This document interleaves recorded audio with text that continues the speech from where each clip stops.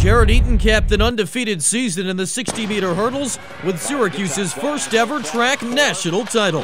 His time of 7.54 seconds nipped the field by one hundredth of a second.